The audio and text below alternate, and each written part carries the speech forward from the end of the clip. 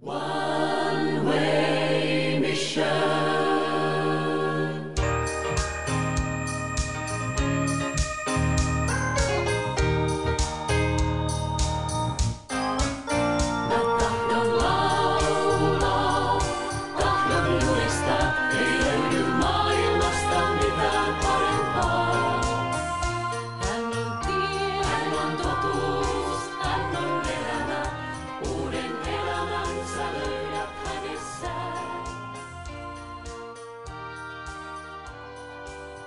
Näin käynnistyi Vanvei-lähetys. Ohjelman tuottaa tuttuun tapaan lähetysjärjestö Way Mission. Tervetuloa seuraamme. Tänään meillä on vieras Malavista Marianne Raatikainen Masamba, joka johtaa miehensä Mäkin kanssa työtämme Kulampen laaksossa. Ja opetusosuudessa on tänään Tapani Suonto. Vanvei aloitti työn Malavissa vuonna 2006 nälänhädän puhjettua maassa. Ensiksi työmme oli katastrofiapua, mutta se laajeni nopeasti ensimmäisen tiimimme käytyä siellä syksyllä 2006. Marianne Raatikainen Masamba on keskeinen hahmo Kulamben laaksossa, jossa työtä teemme. Ja tänään Marianne on täällä kanssani studiossa. Olet talvilomalla. Tervetuloa lähetykseen. Kiitos. Siellä on rakennettu viime vuodet oikein urakalla siellä Malavissa. Kertoisitko, mitä on jo rakennettu ja mitä tällä hetkellä tehdään? Rakennusprojekti on ollut alusta asti osa työtä ja toivon mukaan saataisiin tänä vuonna rakennusprojekti ainakin tauolle, että ehdittäisiin keskittyä muuhun työhön. Tähän mennessä on rakennettu klinikka ja sen yhteyteen ihan äskettäin tuberkuloosihuone ja kolera, katos. Sitten on rakennettu iso orpokoti. Anteeksi, että keskeytä, mutta kerrotko vähän niin kuin avaat, mikä on tuberkuloosihuone ja mikä on kolera katossa? Okei. Eli meillä otetaan tuberkuloositestejä ja ja terveysviranomaiset ehdottivat, että niitä ei otettaisi siellä varsinaisessa klinikkarakennuksessa, koska tuberkuloosihan on hyvin tarttuva ja sen takia on rakennettu sitten klinikan läheisyyteen tuberkuloosihuone. Ja sitten viime vuonna meillä tuli ensimmäisen kerran kolera, koleratapauksia ja niitähän ei sitten saa tuoda klinikalle ollenkaan. Ja viime vuonna oli hätäratkaisuja ja, ja nyt ollaan sitten rakennettu ihan oikea kolera katos, minne sitten viedään kolerapotilaat toipumaan toivon mukaan. Aivan. Ja sitten ollaan rakennettu tosiaan se orpokoti, eh, iso keittiörakennus, joka olisi sitten niin kuin kaikkien käyttöön, ruokasalineen ja lähetystalo suomalaisille ja muille vieraille henkilöku- ja henkilökunnan asunto. Ja sitten meillä on siellä seurakunta tai siis kirkkorakennus. No aikamoinen kylä se sitten jo on. Mites tämä orpokoti? Joko siellä on orpolapsia? No me ollaan pari vuotta jo odotettu sosiaaliviran tai valtiolta lupaa, että me saataisiin avata se. Ja nyt kun meillä oli joulujuhla, niin sinne tuli sosiaaliviranomaisia ja ministeri lähetti edustajansa ja he sanoivat, että he ei näe mitään syytä, miksi me ei saataisi avata jo orpokotia, mutta se tarvii presidentin aamenen. Mutta mä itse olen ajatellut, että nyt näiden vuosien aikana on nähnyt sen, että monet orpolapset, ketkä asuvat yhä huolteensa luona, niin heistä huolehditaan paljon paremmin, kun he ovat osa tätä projektia. Ja monet lapset, ketä me ajateltiin ensin, että otetaan orpokotiin, niin he ei enää tarvitsekaan orpokotia. Että tämä viive on jollakin tavalla auttanut näkemään, että ketkä oikeasti tarvii ja ketkä ei. Ja ehkä myöskin teidän vaikutuksenne siihen kyläyhteisöön on Kyllä. suurempi kuin ne lapset, joita tuetaan kummiohjelmassa. Ja ovat se, on, ja se on niin kuin Malavin politiikan mukaistakin, että mahdollisimman pitkälle tuetaan yhteisöissä. Ja sitten todella kun on niitä, keillä ei ole ketään, kuka huolehtii, niin he tulisi sitten orpokotiin. Mutta orpokotihan ei ole tyhjillään, että siellä on äitiysklinikka tällä hetkellä, missä seurataan raskauden kulkua. Siellä testataan hiiviä ja annetaan siihen liittyvää neuvontaa. Ja siellä on vammaisten työpaja. Ja sitten siellä asuu sairaanhoitaja ja medical assistant. Ja suomalaiset vieraatkin ovat siellä yöpyneet. Että voi orpoparat, he eivät kohta enää mahdukaan sinne Niin teidän siltä alkaa kotiin. vähän tuntumaan. Kerrotko vielä kertaa Marianne vielä, mitä kaikkea Vanvei tekee Malavissa? Ja jos mä vielä palaan tähän orpotyöhön, niin sitähän tehdään sillä tavalla kylillä, että meillä on kokouksia eh, eri kylillä, pyritään käymään joka paikassa kerran kuussa. Ja siellä lapset saa hengellistä ja muuta opetusta. Ja orpoja ja perheitä ruokitaan ja he saa koulupukuja ja koulumaksuja ja moskittoverkkoja ja huopia ja mitä aina milloinkin tarvii. Majojen kattoja kunnostetaan. No sitten meillä on ihan uutena käynnistynyt vammaistyö, tai sitä on hiljalleen tehty niin kuin useamman vuoden ajan, mutta viime syksynä sai tuulta purjeisiin sillä tavalla, että Suomesta oli kolmisen kuukautta semmoinen ompelutaitoinen nuori nainen. Ja käynnistettiin sitten tämmöinen ompelupaja, ostettiin poljettavia ää, ompelukoneita ja nyt siellä valmistuu hienoja afrikkalaisia kasseja. Ja sitten nämä vammaiset saavat jonkun verran niin kuin elantoaan sillä, kun he tekevät niitä kasseja. Plus sitten tehdään muitakin käsitöitä ja puutöitä ja valmistaa vammaisille apuvälineitä, niin kuin pyörätuoleja ja kainalosauvoja ja, ja annetaan ruoka-apua tarvitseville. No sitten meillä on AIDS-tukiryhmä ja sehän on minun lempipuuhaa ja siinä on semmoinen parisataa jäsentä tällä hetkellä ja he kokoontuu pienryhmissä kylillään joka viikko. Ja sitten meillä on iso kokous kerran kuussa ja se on enemmän hengellinen kokous, plus yhdessä syödään. Ja eh, HIV-positiiviset, jotka tarvii lääkitystä, niin he sitten saa matkarahan. He tekee pientä kevyttä työtäkin, jos kynnelle kykenevät, tai sitten omaiset käy tekemässä. Et kaikki myös osallistuu vähän siihen työhön, ettei pelkästään ole niinku armopalojen varassa. Kierrätkö sinä sitten näissä, esimerkiksi näissä AIDS-pikkuryhmissä? Niin. Aina silloin tällöin, tai sitten sinne menee joku kunnan terveysviranomainen, mutta kyllä mäkin olen kaikissa kiertänyt.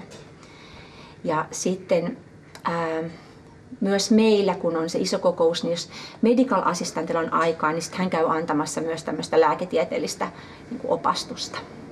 No sitten meillä on seurakuntia, eli niitä on Malavin sekä Mosambikin puolella. Ja siihen liittyen pastorikoulu, semmoinen englantilainen pastori Matthew Armstrong käynyt neljä kertaa vuodessa kouluttamassa, koska pastoreiden, näiden syrjäisiltä kyliltä tulevien puskapastoreiden koulutus on se, että he tai heillä ei ole mitään koulutusta, vaan he uskovat Jeesukseen ja osaavat lukea, niin sillä perusteella on pastorit valittu. Ja klinikka, mainitsinko minä jo klinikan, eli klinikka on on toiminut alusta asti jollakin tavalla ja nyt on toista kolmivuotiskautta Suomen ulkoministeriön tukema. Ja se on tota, ää, siellä käy paljon väkeä, että noin yli 3000 potilasta kuussa. Ja siellä on vain yksi medical assistant ja yksi sairaanhoitaja. Ja sitten kyläläisiä, ketä ollaan koulutettu erilaisiin tehtäviin. Plus sitten kunta tekee yhdessä työtä, että kunta pitää neuvolatoiminta ja antaa niin kuin rokotus, rokotusohjelmia siellä ja kunnalta me saadaan moskiittoverkkoja ja malarialääkettä. Ja sitten meillä on tietenkin omat seurakuntien kokoukset, ne unohdin. Ja sitten teette työtä myöskin Mosambikin puolella. Joo, eli Mosambikissa tehdään myös klinikkatyötä. Että tähän asti ollaan kustannettu sinne lääkkeet ja ollaan koulutettu henkilöitä antamaan ää, niin kuin ensiapua.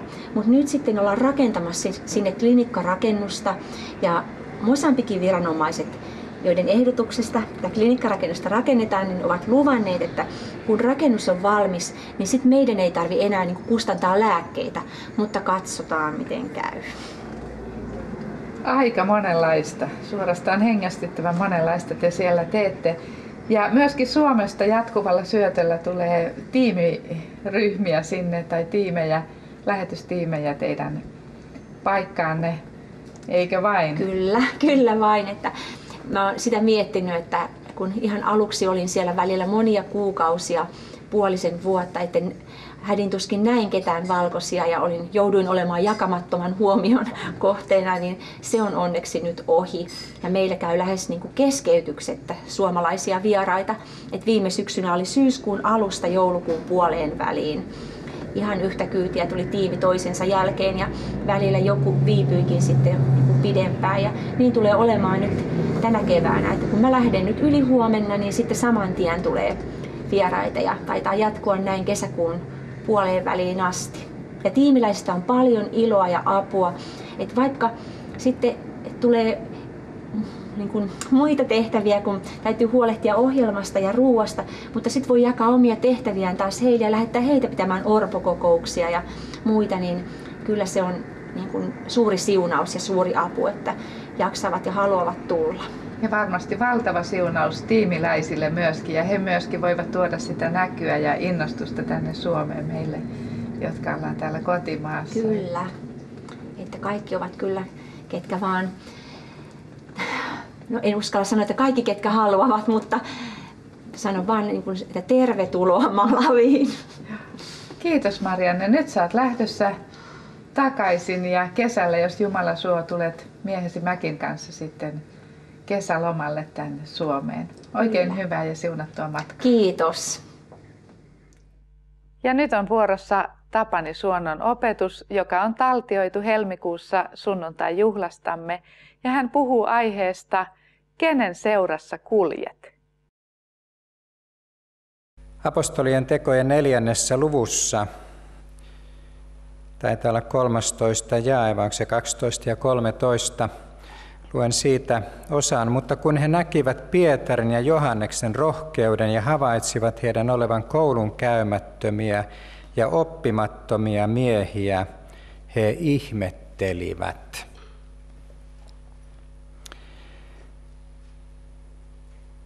Olet ehkä joskus kuullut tarinan pikkupojasta, joka oli eksynyt koulun pihalle ämpärinsä ja lapion kanssa leikkimään ja Koulun kellot soi ja oppilaat juoksi pihalle, muutama sata oppilasta ja ympäröi tämän kolmivuotiaan pojan. Ja joku kysyi sitten, että mikä sinä olet, niin poika vastasi alahuuli vapisten, että minä olen ihminen.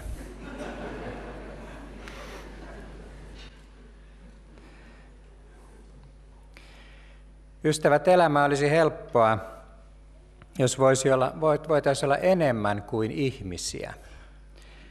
Ja siihen moni pyrkiikin, moni haluaisi olla superihminen. On toki hyvä pyrkiä kasvamaan uskossaan ja, ja, ja omistamaan Jumalan voitelua ja armolahjoita, kaikki mitä Herra vain antaa, koko potti. Ja sitä meidän on hyvä tavoitella, mutta samalla muistaa, että Jumala loi meidät kaikki ihmiseksi. Ei enkeleiksi tai henkiolennoiksi. Se on Jumalan tahto, että olet pieni, heikko, voimaton, haavoittuva ja sellaisena kipeästi Jumalaa tarvitseva. Jumala loi sinut ihmiseksi. Kun narkomaani elää omasta tahdostaan näissä huumehöyryissään, niin ei hän todellisuudessa siellä vielä ymmärrä mitään ihmisen heikkoudesta. Vasta sitten, kun hän haluaa vapautua synnistä ja tehdä parannusta, hän alkaa käsittää, miten voimaton ja heikko hän on ihmisenä. Kun mä puhun heikkoudesta, niin en, en tarkoita sitä, että puolustelen synnissä elämistä.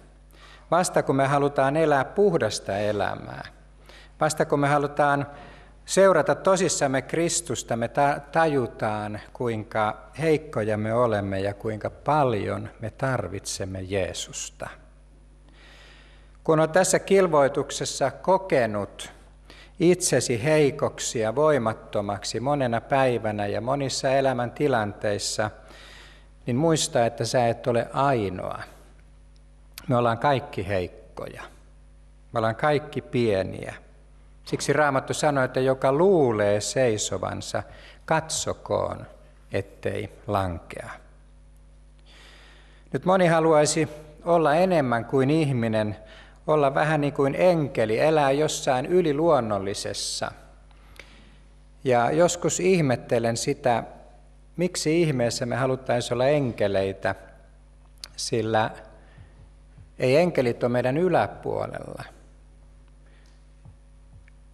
Enkelit on meidän palvelijoitamme, sanoo Raamattu. Eivätkö he kaikki ole palvelevia henkiä palvelukseen lähetettyjä niitä varten, jotka saavat autuuden periä? Raamattu sanoo, että me tulemme tuomitsemaan enkeleitä. Et sinä ole vähempi arvoinen, vaikka sä et voikaan elää yliluonnollisissa niin kuin enkelit, koska Jumala on luonut sinut ihmiseksi.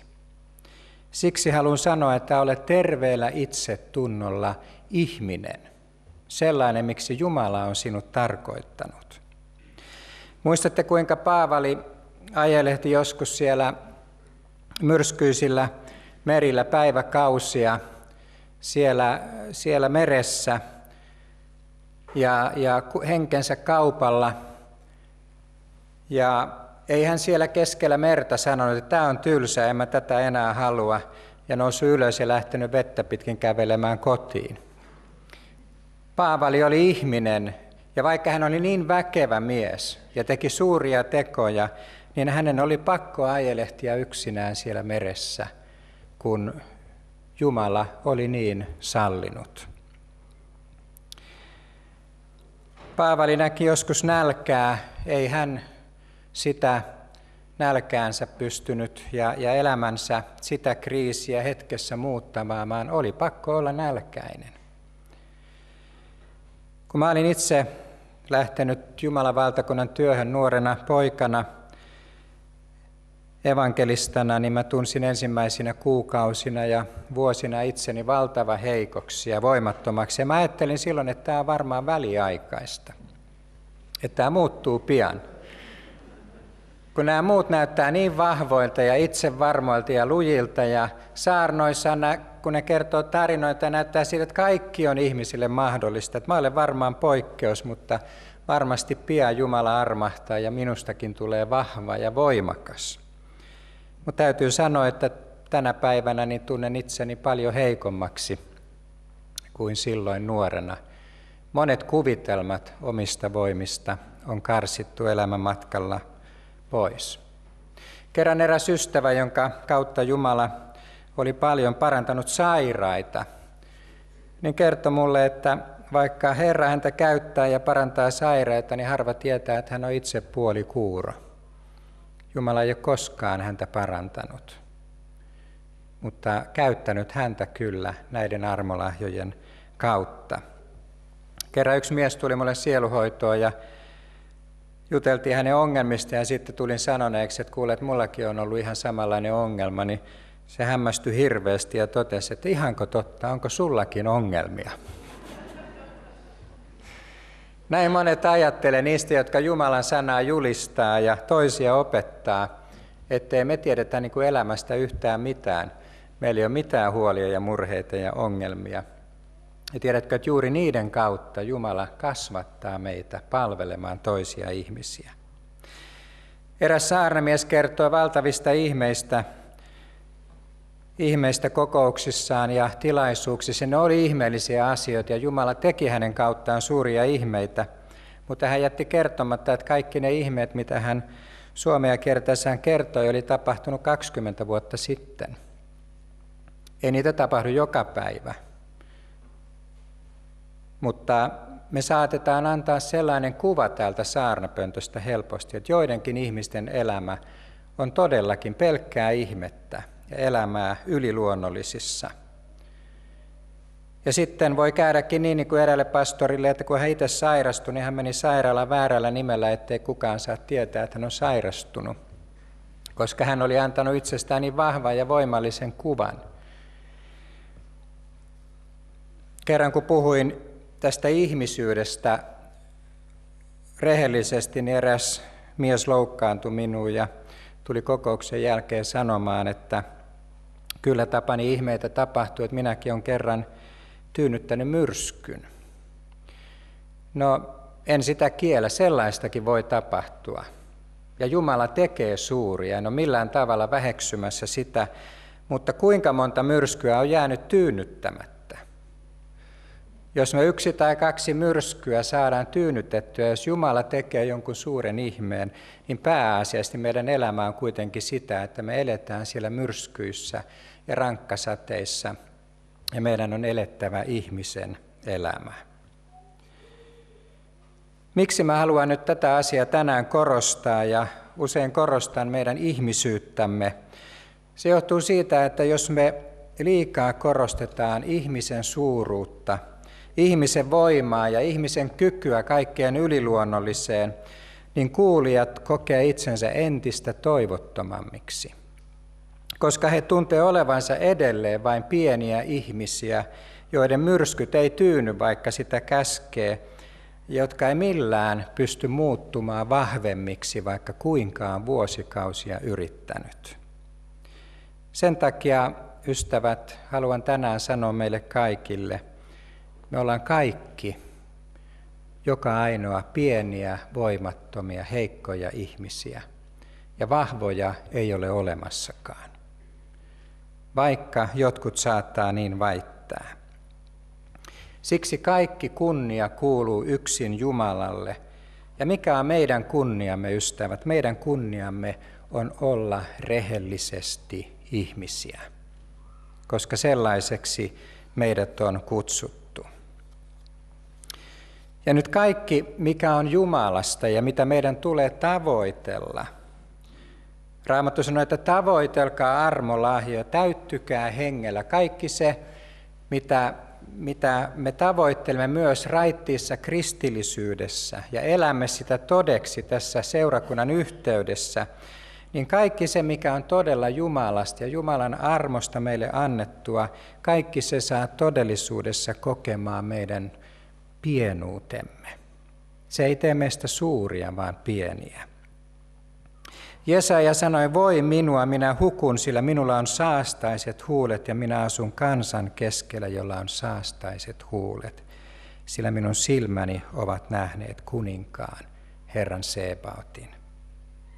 Ja kun minä hänet näin, kaaduin minä kuin kuolleena hänen jalkojensa juuren, ja hän pani oikean kätensä minun päälleni sanoen, älä pelkää, minä olen ensimmäinen ja viimeinen. Todellisen elävän Jumalan kohdannut ihminen ei ole koskaan suuri. Hänestä tulee hyvin pieni Jumalan, elävän Jumalan edessä.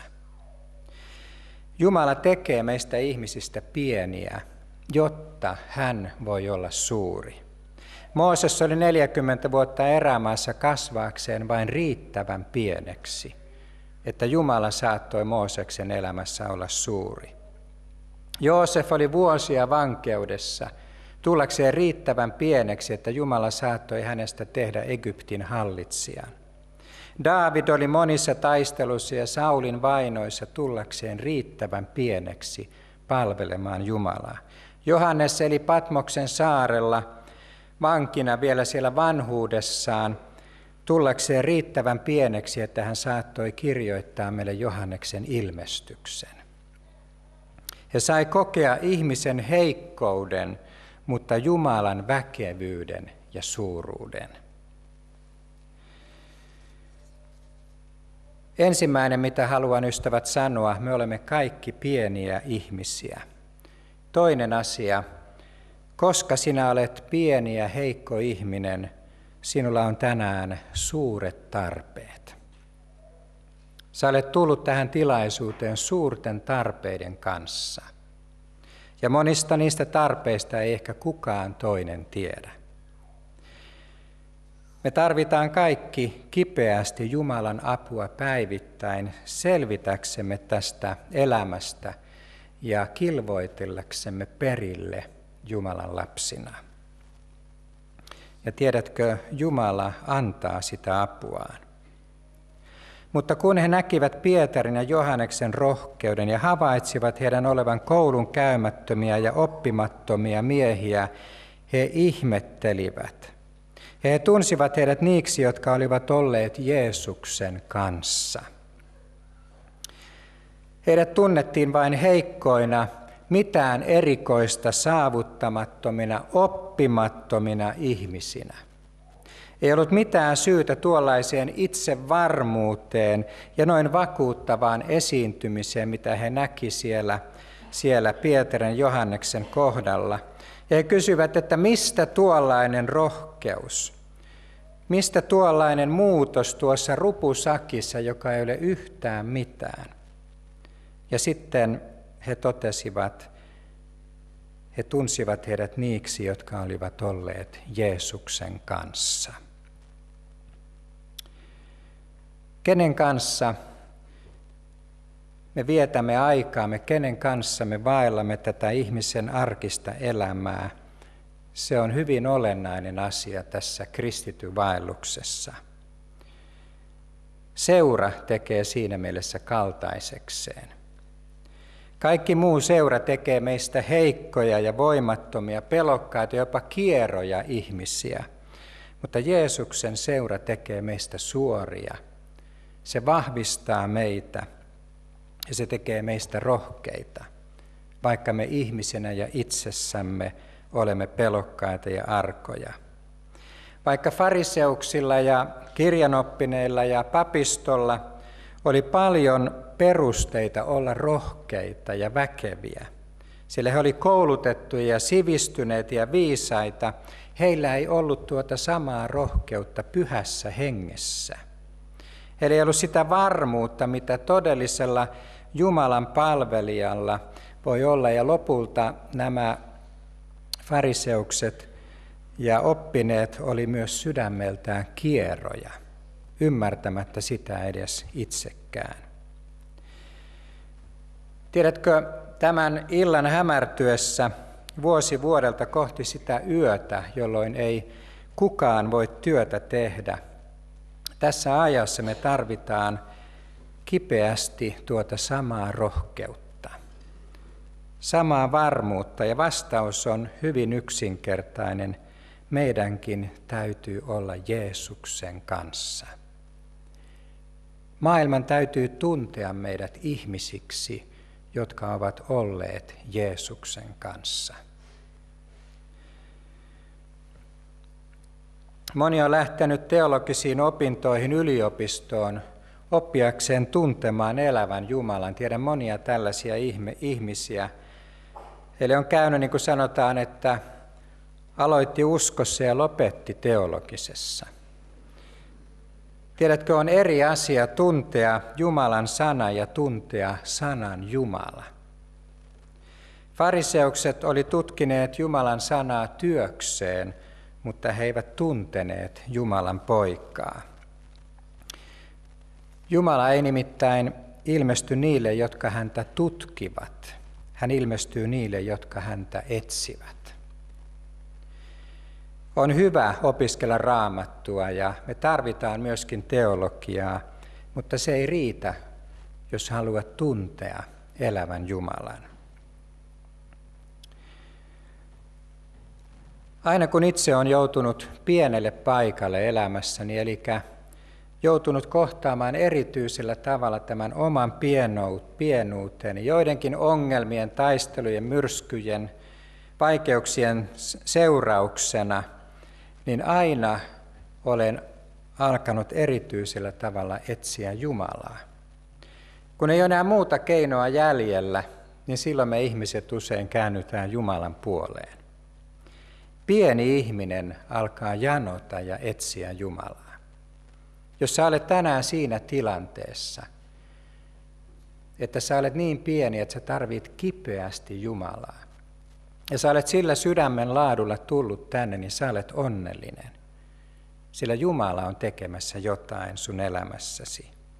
Me haluttaisiin olla suuria ja rikkaita ja menestyviä, sillä silloin me selvitään ilmankin, ilman Jeesusta, ilman hänen apuaan. Mutta raamattu tulee rakkaaksi heikkoudessa.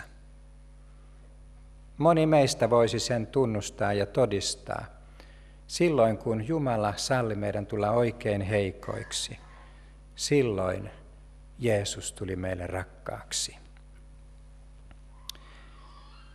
Matteus kirjoittaa, että nainen, joka oli sairastunut verenjuoksua 12 vuotta, tuli takapäin ja kosketti hänen vaippansa tupsua. Sillä hän sanoi itsekseen, jos vain saan koskettaa hänen vaippaansa, niin minä tulen terveeksi. Silloin Jeesus kääntyi, näki hänet ja sanoi, tyttäreni, ole turvallisella mielellä, sinun uskosi on tehnyt sinut terveeksi. Ja sillä hetkellä nainen tuli terveeksi. Tuo nainen oli ihmisenä oikea heikkouden perikuva. Mutta uskon kautta heikkona ihmisenä hän ymmärsi, mistä oli kysymys – jos vain saan koskettaa hänen vaippansa tupsua. Jumalan maailmat oli avautuneet yllättäen tuolle naiselle. Uskon kautta me ymmärrämme, mistä tässä hengellisessä elämässä ja hengellisessä maailmassa on kysymys. Sadanpäämiehen palvelija oli kerran halvaantunut. Jeesus lupasi tulla parantamaan hänet, mutta sadanpäämies vastasi, että sano ainoastaan sana, niin hän paranee. Silloin Jeesus sanoi, että tämän kuultuaan Jeesus ihmetteli ja sanoi niille, jotka häntä seurasivat, totisesti minä sanon teille, en ole kenelläkään Israelissa löytänyt näin suurta uskoa. Uskon kautta tuon sadanpäämiehen maailma oli avautunut, hän ymmärsi, mistä oli kyse. Hän selitti näkymättömät Jeesukselle. Hän kertoo itse, miten Jeesus toimii. Tiedätkö, me voidaan ymmärtää ja nähdä tätä hengellistä todellisuutta vain uskon kautta. Uskon kautta me ymmärrämme, että tämä maailma on luotu Jumalan sanalla. Ja usko kasvaa siellä, missä ollaan Jeesuksen kanssa. Opetuslapset oli olleet Jeesuksen kanssa kolme vuotta. Ja niin heistä sanottiin, että heidät, he tunsivat heidät niiksi, jotka olivat olleet Jeesuksen kanssa. He oli Jeesuksen kanssa kolme vuotta tiiviisti. Ja he oli kasvaneet uskossa niin vahvoiksi, ja ymmärtämään, he olivat kasvaneet ymmärtämään tätä hengellistä todellisuutta niin, että he olivat va- valmiita valloittamaan koko maailman Kristukselle. Tuon kolmen vuoden yhdessäolo Jeesuksen kanssa teki heistä niin väkeviä ja antoi heille sellaisen ymmärryksen, että herätys lähti valtavalla voimalla, kun Jumala nuo heikot ihmiset voiteli työhönsä. No mitä se tarkoittaa, että me olemme Jeesuksen kanssa? No ensimmäinen on tietysti se, että me annamme elämämme Kristukselle ja saamme omistaa pelastuksen ja syntien anteeksi annon. Toinen tärkeä asia on se, että, että me elämme sanan äärellä. Jumalan sanalla on tärkeä osa meidän elämässä ja meillä on rukousyhteys päivittäin Jeesuksen kanssa. Sanotaan, että syntiä tekevä lakkaa rukoilemasta ja rukoileva lakkaa tekemästä syntiä. Parannuskin ja puhdas elämä saadaan hänen läsnäolossaan, hänen, hänen lähellään ilman Jeesusta. Se on mahdotonta. Kolmas asia, mikä on tärkeää, on kuuliaisuus meidän elämässä. Kuuliaisuus vie meidät Jumalan tuntoon. Kuuliaisuus on astin lauta näkemiseen. Me alamme nähdä ja ymmärtää kuuliaisuuden kautta. Kerran eräs nainen oli nähnyt sellaisen ilmestyksen ja tuli kertomaan mulle siitä. Olin siihen aikaan hirveän kiireinen ja monta kertaa kärsin syyllisyyttä siitä, että oli niin paljon tärkeitä asioita ja tehtäviä, että ei ollut aikaa ja voimia sillä tavalla aina odottaa Herraa ja olla rukouksessa, kun tiesin, että olisi pitänyt. Tämä nainen kertoi, että hän näki Jeesuksen ilmestyksessä, joka kulki eteenpäin niin kiireisenä, että helmat vaan heilu, kun hän juoksi eteenpäin. Oli niin paljon tehtävää ja työtä, ja mä juoksin siinä Jeesuksen rinnalla. Tiedätkö, moni ihminen oppii tuntemaan Jumalaa ja hänen maailmojaan evankeliamistyössä, laupeuden työssä, lähetystyössä, tekemällä sitä, mihin Jeesus meitä kutsuu. Kun sä omalla pienellä paikallasi – teet sitä, mihin Jumala kutsuu sinua, niin kaiken tuon uskollisuuden ja, ja rakkauden seurauksena Jumalan maailmat alkaa avautumaan sulle. Sä olet lähellä Jeesusta, et vain rukoillen ja sanaa tutkien, vaan elämällä tätä arkista elämää Jeesuksen kanssa ja palvelemalla häntä, täyttämällä päivittäisiä arkisia velvollisuuksia ja tehtäviä Jeesuksen kanssa. Tänäänkin me ollaan täällä yhdessä, emme vain toistemme seurassa, vaan me ollaan täällä Jeesuksen kanssa. Seurakunta kokoontuu yhteen kohtaamaan ja viipymään Jeesuksen läsnäolossa. Siksi on tärkeää olla osa elävää seurakuntaa. Yksin on paljon vaikeampi uskoa ja kasvaa uskossaan kuin yhdessä. Yksi ensimmäisiä askelia eksymyksen tiellä monien kohdalla on ollut se, että he on jättäneet uskovien yhteyden. Todeten, että ei siitä näytä olevan mitään hyötyä. Eikä tarvinnut mennä kuin muutama viikko tai kuukausi, niin hengellinen todellisuus on sumentunut ja ymmärrys hävinnyt ja maailma vienyt mennessään. Siksi seurakuntaa on aina vastustettu. Se on kuin vahva linnoitus, johon me voidaan paeta tämän elämän, elämän taisteluita ja, ja kasvaa yhteisessä uskossamme.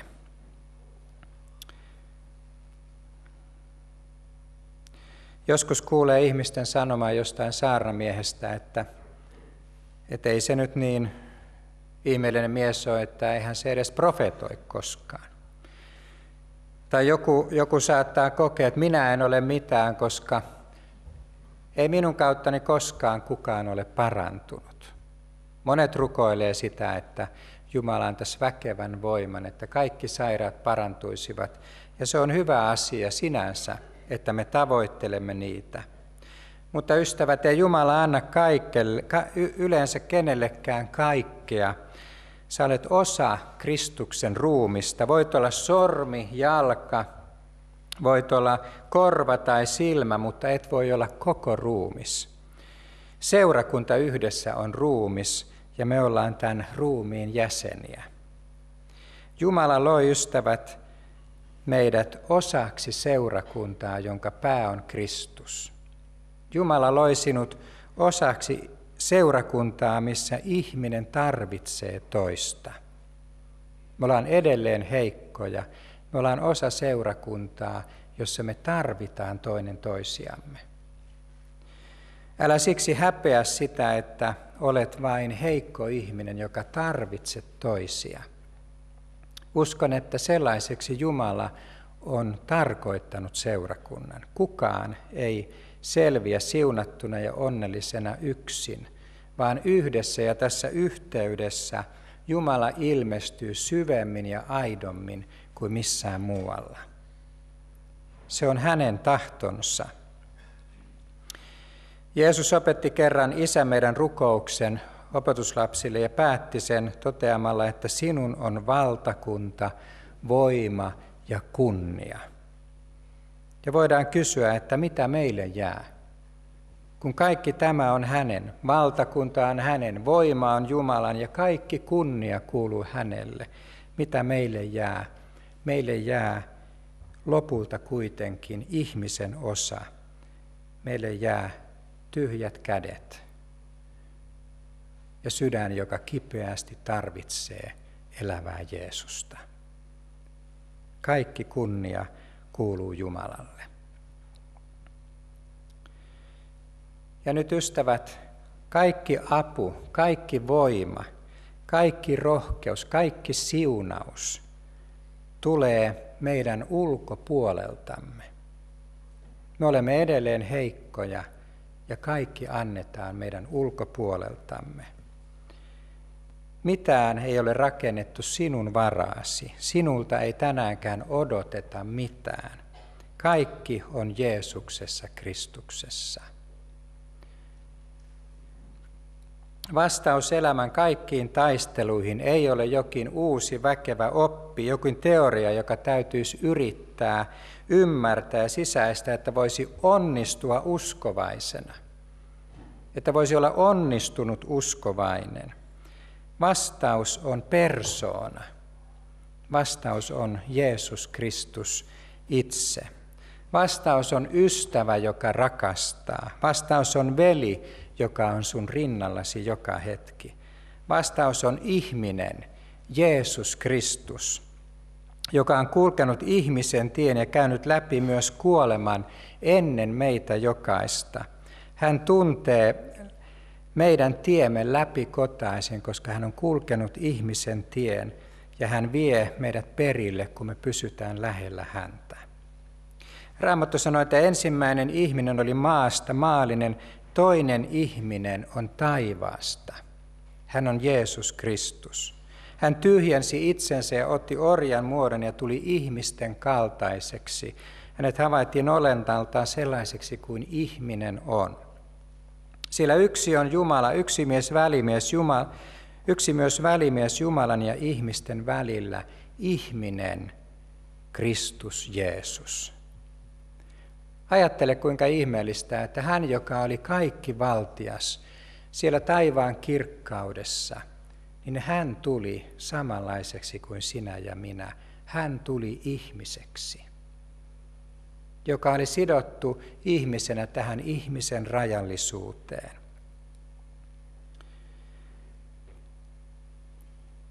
Jeesus ei ollut puoliksi Jumala ja puoliksi ihminen. Hän oli sataprosenttisesti Jumala – ja sataprosenttisesti ihminen. Hän koki ihmisen heikkouden aina sinne ristille asti. Ja niin Raamattu sanoo nämä kauniit sanat, ei meillä ole sellainen ylimmäinen pappi, joka ei voi sääliä meidän heikkouksiamme, vaan joka on ollut kaikessa kiusattu samalla lailla kuin mekin, kuitenkin ilman syntiä. Sellainen Jeesus meillä on joka on kulkenut tämän saman ihmisen tien ja ollut kaikessa kiusattu niin kuin sinä. Hän tietää, mitä on olla ihminen. Ja hän on kutsunut meidät ihmisiksi. Hän tuli itse sieltä yliluonnollisesta maailmasta ihmiseksi meidän tähtemme, näyttääkseen meille tien iankaikkiseen elämään. Jeesus eli vanhurskaan elämän omassa voimassaan. Jumalan voimassa. Mutta ei hän samaa odota sinulta. Meidän ei tarvitse kulkea vanhurskasta tietä omassa voimassamme. Salaisuus on ylösnoussut Kristus, ihmisen poika. Ja näin vierähti yhteinen 45 minuuttiamme. Kiitos seurastasi. Nähdään viikon kuluttua ja oikein siunattua viikkoa. One way mission.